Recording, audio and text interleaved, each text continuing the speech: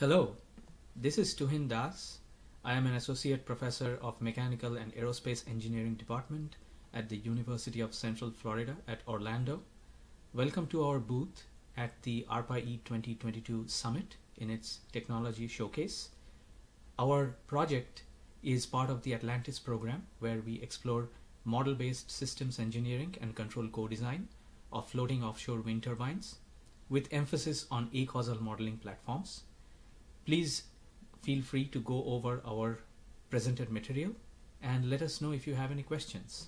Thank you.